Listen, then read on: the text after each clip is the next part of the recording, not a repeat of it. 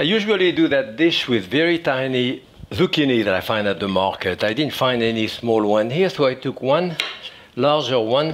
This is for two people. And then you cut it this way. You know, on a bias here, like this to do two smaller ones. And the idea there is to do a fan. So you cut that here, one, two, three, at least four cut like this that we're going to put on the side this way. Here's even a bit longer.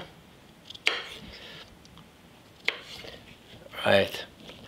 And something on the other one.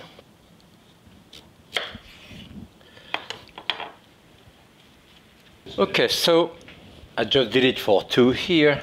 Put a bit of olive oil. And uh, I put those on top here. This one on top.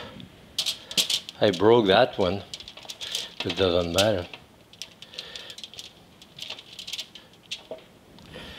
And then in between, you want to put some tomato. So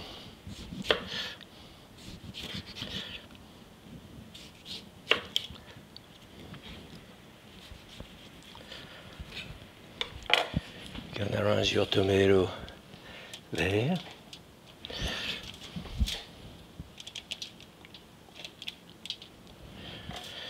Okay, here. And a small one at the end. And then garlic.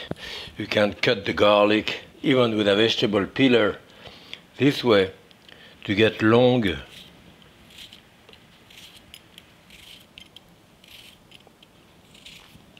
Get very thin strip of garlic that you want to put here and there.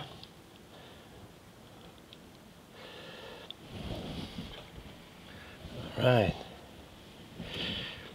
Salt on top of it. Remember, it takes a fair amount of salt. A little bit of uh, herbes de Provence or Italian seasoning. Yeah, about the same thing. And a fair amount of olive oil. Be generous with that here. I'm going to prepare that one here. That's going to go into the oven about 20 minutes, 20 25 minutes at 400 degrees. Right. And this is it, a beautiful dish in the style of Provence. Great with a piece of lamb, lamb chop or whatever. Enjoy it and happy cooking.